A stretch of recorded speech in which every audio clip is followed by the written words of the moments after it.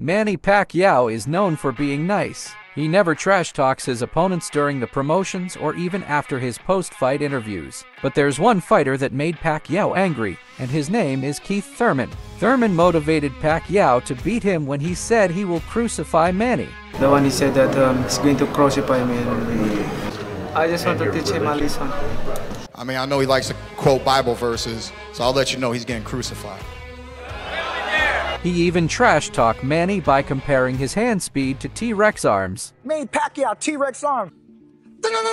But after he defeated Thurman, Pacquiao somehow understand that he just doing it to promote the fight. You didn't really engage in the trash talk, but you said you wanted to teach him a lesson.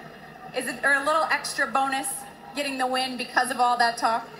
Well, um, not the kind of boxer talkers. Uh, just promoting the fight. Just promoting the fight. Clearly, Manny was just being nice.